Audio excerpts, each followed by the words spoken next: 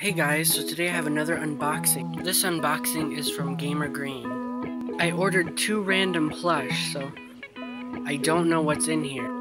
I've seen that everyone recently has been getting Plankton or Patrick from SpongeBob, and I requested for one of those, if not both, but let's see what we got.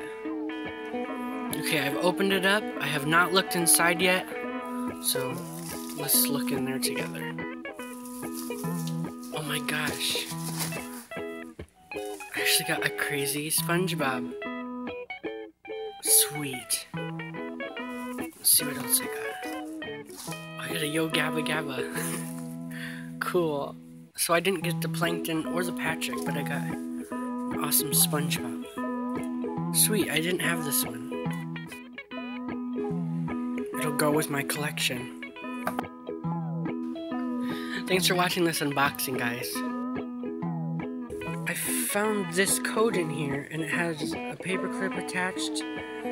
Don't worry about the code, it'll be entered before I put this video up. But I found this, and there's a little note on here. I do apologize for not being able to send you two SpongeBob plush. I opened up every box of plush in hopes of fulfilling your request. I did, however, find one hidden gem for you. I do hope you enjoy him. Sincerely, Gamer Green. Oh, Gamer Green is so sweet. Marry me, Gamer Green. Okay, now that my proposal's over, yeah, thank you for watching this unboxing.